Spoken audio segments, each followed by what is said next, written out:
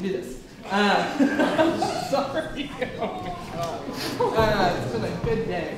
Uh, one, one more round of applause, knowing, and I just, especially to the musicians and to our amazing Jordan for this song.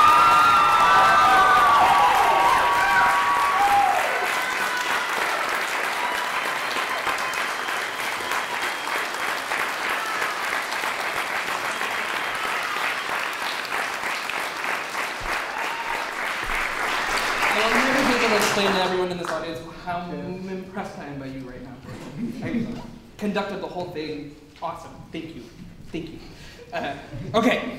Um, I'm going to actually let, there's a couple notes and then we're going to keep moving. One, I've trapped you in this room for a long time, so if folks need the bathroom or if you need to go, feel free. What we have next is about 15 minutes of just talk back so you can just meet the incredible human beings that are sitting in front of you right now. So do feel free to check out the bathroom or whatever you need.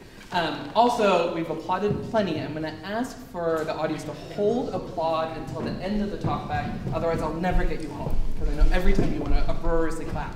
And you can always adopt the GSA's finger snaps to show support or that you agree. Okay? That's always it. That'll help us keep going. Um, before we get carried away, I just need to thank so many people. And there are so many people that make this possible, and I'm going to lose all of them if I don't say this. Okay. Uh, one, all of you. Thank you for being such a kind, generous, thoughtful, exciting audience. It was really awesome to be with you tonight. Thank you to the Kelly Strayhorn and the Alloy, and Lauren and Melanie and Colleen and Pixie. The people here make this home. And it's a big deal for the 25 of us to get to have a home here. So thank you to all of you for making this possible. The teaching artist team is incredible. There's Dustin, our assistant director, right there. Paul Cruz is behind the camera. Judith is with us. Marie Romaglio is with us. I mean, there's this incredible team of folks that made this art possible with the team that we have in front of you. Um, Oh my God. Parents and guardians and loved ones and supporters that make this possible. Without your ride, without your time, without your love, without your care, this would not work. I'm so grateful. I'm so grateful to all of you. All of you. Uh, and my loved ones and my people back there, thank you. You deal with a lot.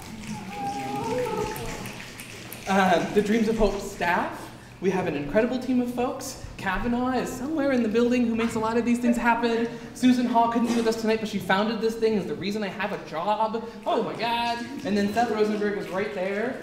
He's our executive director. And I get to introduce Seth for a second. He also has a couple things he wanted to share before we get too far. So I'll use that.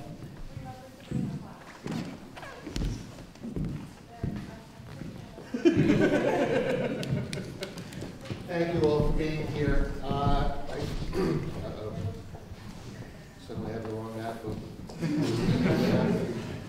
uh, I just have a few other thank yous. Um, there's a lot of, uh, besides all of you, there's a lot of organizations that support us.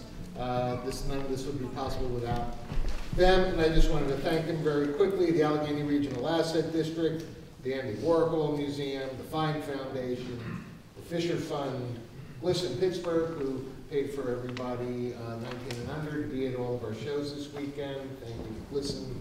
Uh, the Heinz Endowments, the McDonald O'Brien Foundation, Kelly Strayhorn Theater, obviously, Mukti Fund, the Pennsylvania Council on the Arts, and the Pittsburgh Center for Creative Reuse. Um, and now I need your support. Not money. Well, we'll take your money. Um, in your programs, there is a questioning. And before you leave tonight, it would really, really, really help us if you would fill out as much of it as you can. Um, and I'll tell you why. Because if we're going to ask you to do that, you have a right to know why. So we're going to ask you basically to tell us a little bit about yourself and a little bit about what you thought of the show. And the reason for that is we want to know who we're reaching, and so then we'll also know who we're not reaching. That helps with our outreach. Uh, we want to know what you think of the show, because that helps us with our programming, and also, frankly, all those organizations I just listed, they also want to know the answer to these things. And so it would really be great. I promise you, we will treat your information as highly confidential. Uh, it will only be used, you know, it's all tallied up, not your individual, uh, information. We will not share your email address or anything else with anyone so that you be identified. If you give us your, uh, we're only asking for a name to know what who goes with the email address. If you give us your email address, we do things. We will send you the results of this survey, in case you're interested. And we'll put you on our mailing list and we'll send you our e-newsletters. And you'll hear from us 10, 14 times a year. You probably get a lot worse junk mail than that. And if you don't like the newsletter, you can just unsubscribe. But it would really, really help us a lot if you fill out the questionnaire. Thanks again for being here. Nice. Yeah. there, folks are listening. Um, and the programs you just pulled out, just so you know, they half service programs and half are an educational resource. So there's a ton of information on here. People might have started to catch on in the audience. Every teacher name that was mentioned, almost every, was a reference to um, LGBT history.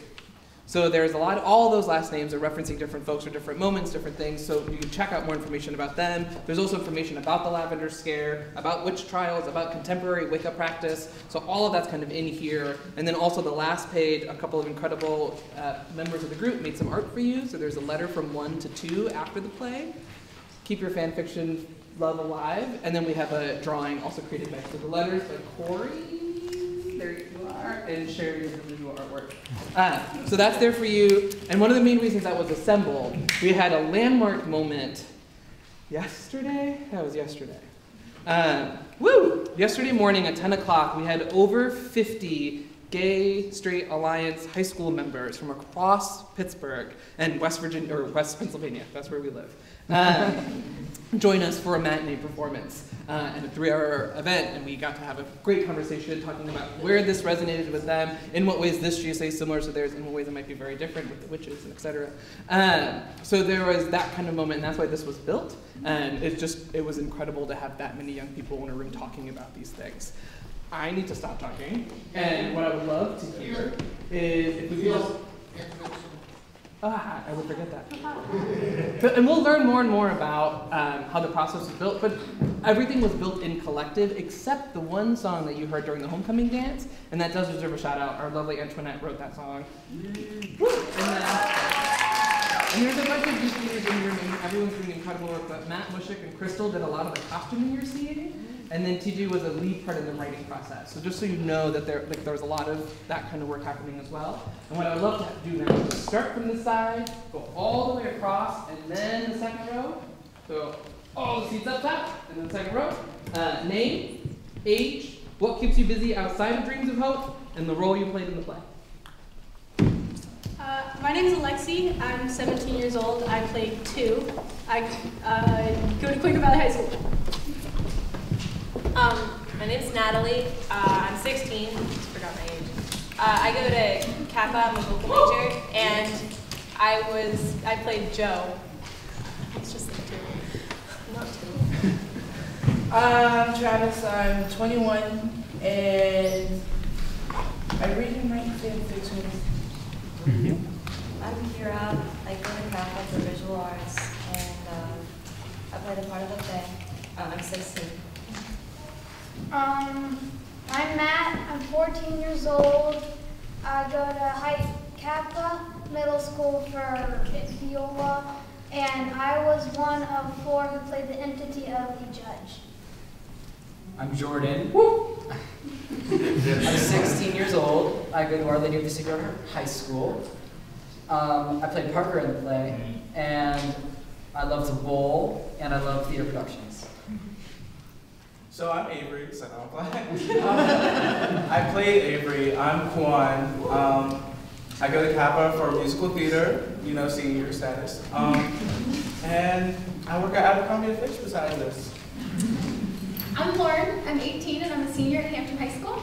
I played Morgan, and staying true to character, I have lots and lots of work with college applications. Hi, my name's Nine. I use the number nine.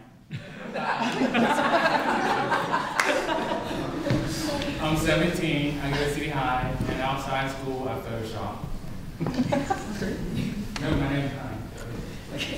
Um, my name is Jerry. I'm 17. I'm in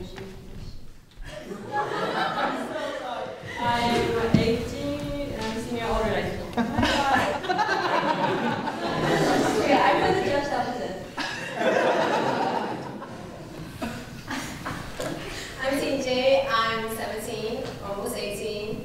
I go to Allderdice. I play Riley. I'm Crystal. I'm 20 years old, and I played one of the four parts of the entity of the judge. And outside of this, I am the human resources supervisor at AMC Waterfront 22. Hi, I'm Matt. I'm 82 years old. um, I played one of the one of the many four people that are the entity of the judge, and I do freelance sewing and alteration design stuff like that. I'm Renata. I'm 18. I'm a senior at City Charter High School. Um, I was a Faye and teacher. I forget the name. Um, I do two things mainly whenever I go out here at school. I get my shit hacked out of my face and I chase my cat around. And I like sleep in weird positions, so like I'll sleep on my steps. I want to sleep on the car.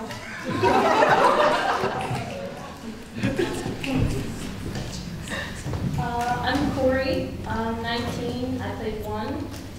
And outside of this, I am studying graphic arts at Independence University, and uh, I work for Follett. I'm Jordan, I'm 18, I was a musician. Um, I don't really do anything outside of this. I go to school in Chester, West Virginia, so I travel an hour and some minutes to be here.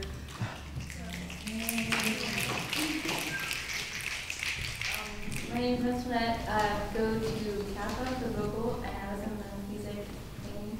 And uh, I don't really do much besides to music and hang out with like two people. Yeah. Um, so my name's Rowan. Uh, I was part of the Fae. I'm 16. I go to Oakland Catholic High School for girls. Outside of this at Oakland Catholic, I hang out with non-Oakland Catholic people. I'm Red. I'm 13 years old, currently the youngest in this group I found out today. And I go to Pittsburgh Catholic for vocal, and did I say that? No, Okay, um, sorry, I'm tired. Uh, and outside, and outside of this, I, I write fan fiction.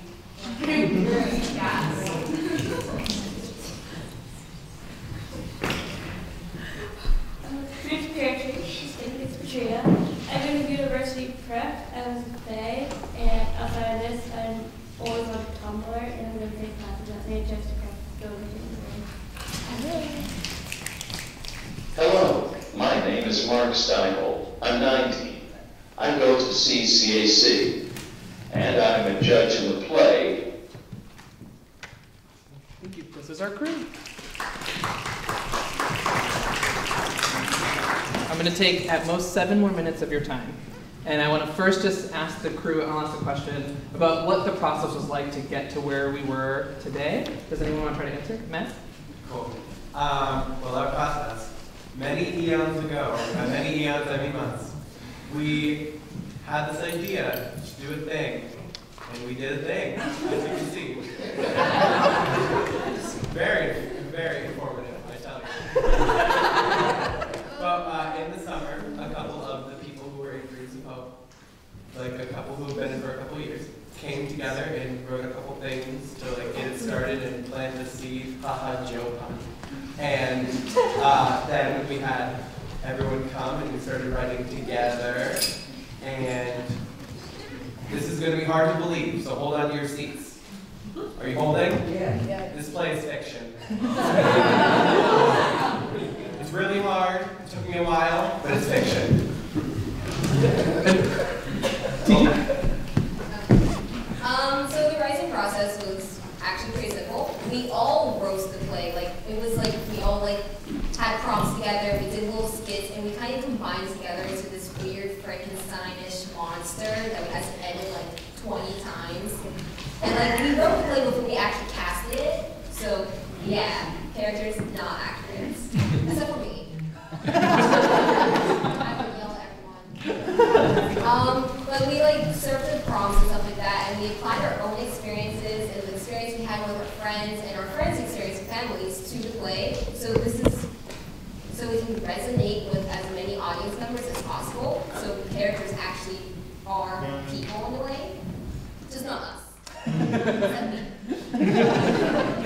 And would someone fill me in a little bit about how the, about how the music was created for the text? I'm doing it. Um, I don't know. We just kind of like looked at like the sections that we needed music for and got some emotions that we had to put into the music and uh, kind of did our own little thing and then came back and like just put it together. Are there any questions from the audience for our team? I'd love like one or two questions tonight. About the show, about their lives, about anything you're thinking about. Anything, guys. Literally anything. Yeah? Go for it. Spill your hearts. We've got a question. We've got a question. Okay. How long did the whole process take? Oh, that's great. So what's the timeline, schedule, what goes into it? Does anyone want to try to tackle that question? Juan?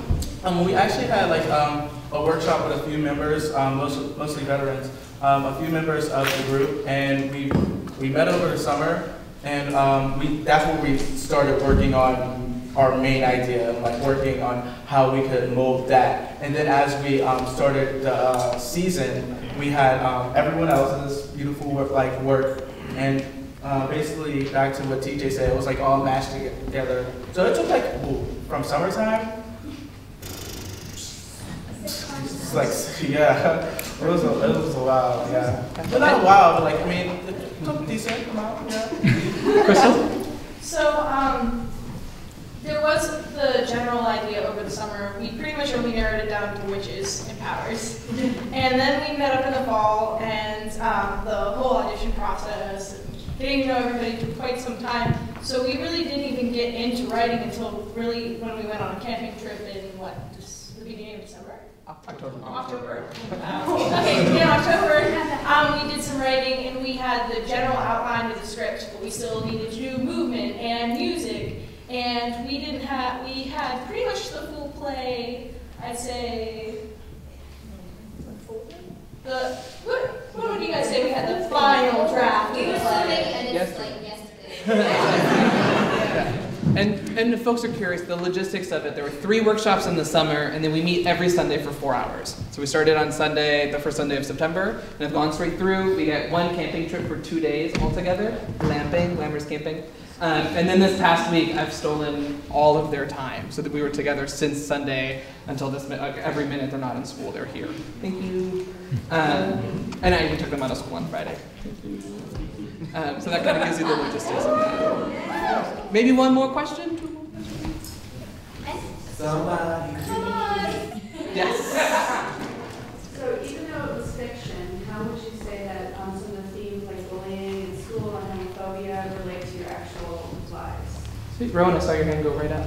Um, so there's one line that deeply resonates with me in this whole entire play, and that's when Joe asks Stu, was it a religious school? I also have the moments where I feel like Riley and want to tell everybody at my school to shut up and how incorrect they are. So to me, there's a lot of like things throughout there that uh, I feel a lot of, along with the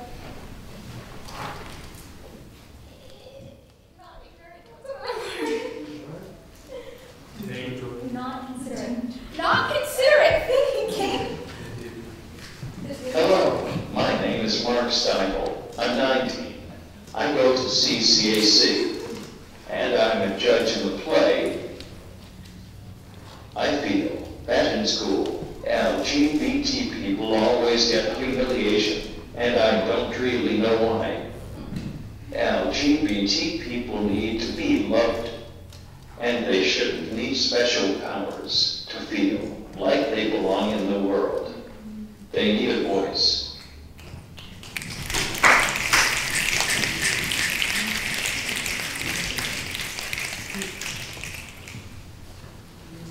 All right. I think that feels good.